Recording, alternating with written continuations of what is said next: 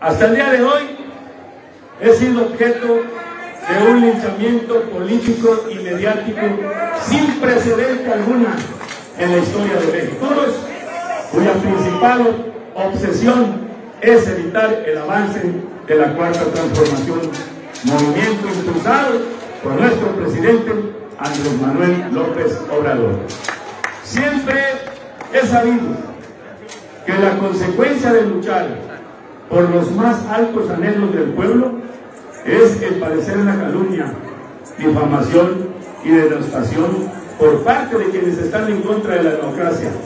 Pero es una consecuencia mínima si se consigue el objetivo primordial, sacar adelante a nuestro Estado en Guerrero. La patria es primero. No hay. Aquí en Guerrero hemos llevado en esta lucha. Y miren, que ha costado mucho trabajo todo esto, pero dicen que las cosas que más cuestan trabajo tendrán un sabor a. Esto no es de Félix, no es de una sola persona, esto es de ustedes, del pueblo, del pueblo de Guerrero. Este es el triunfo de ustedes y de aquellos. Soy un luchador social.